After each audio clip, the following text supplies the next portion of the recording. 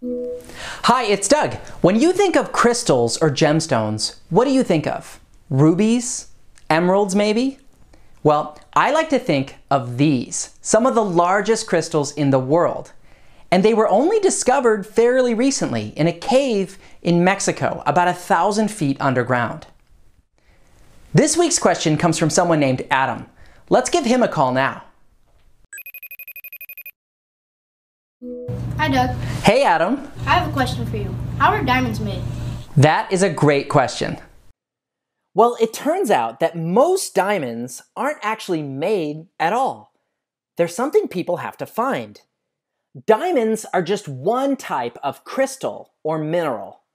Here on Earth, we find so many different kinds. There are thousands of different kinds of minerals, usually found like this, where they're surrounded or stuck inside of ordinary rock. And when we do find these different minerals, they almost always have these amazing shapes with lots of flat sides like this. That's completely natural. That's how they look when they're found.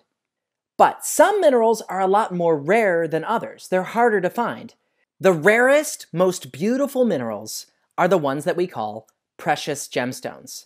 These are minerals you've probably heard of. Minerals like ruby, sapphire, emerald, and diamond. Because diamonds are so rare and considered by many people to be so beautiful, they're worth a lot of money. The bigger and more beautiful looking the diamond, the more it's worth.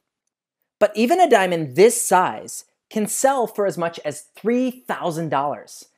Now, diamonds are really hard to find, but when they are found, like most minerals, they're found surrounded or stuck inside of ordinary rock.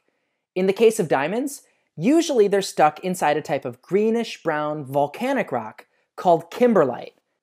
Part of why it's so hard to find diamonds is that there isn't a lot of kimberlite on Earth.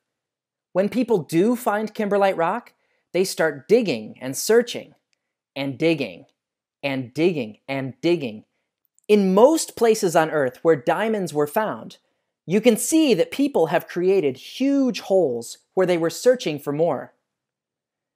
But if diamonds are so difficult to find, could we actually make them instead of finding them?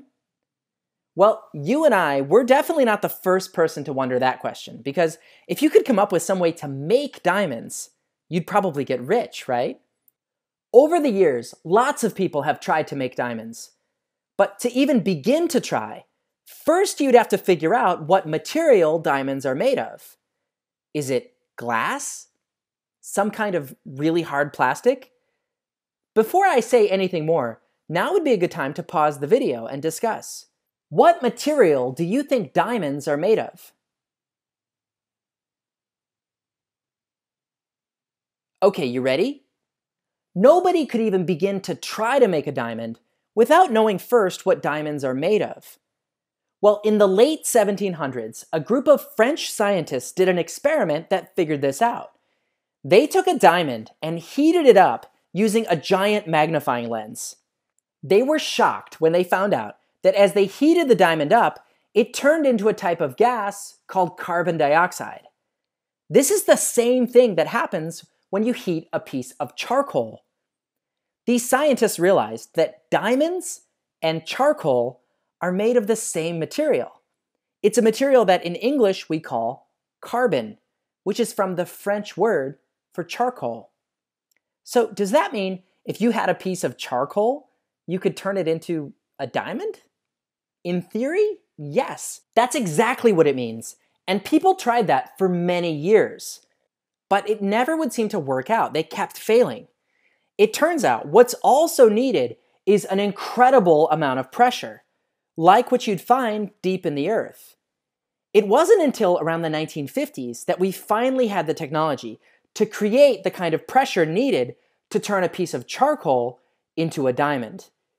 Even today, the machines we have, which can create incredible pressure, can only create very small diamonds. But scientists have recently discovered a different method of making diamonds one that doesn't need a lot of pressure. It could be that in the future, as this technology gets even better, diamonds won't be something rare at all. Not if we can make them. That's all for this week's question. Thanks, Adam, for asking it. Now, for the next episode, I reached into my question jar and picked out three questions submitted to me that I'm thinking about answering. When this video is done playing, you'll get to vote on one. You can choose from Who invented credit cards? Are aliens real? Or what are basketballs made of? So submit your vote when the video is over. I want to hear from all of you watching. There are mysteries all around us. Stay curious and see you next week.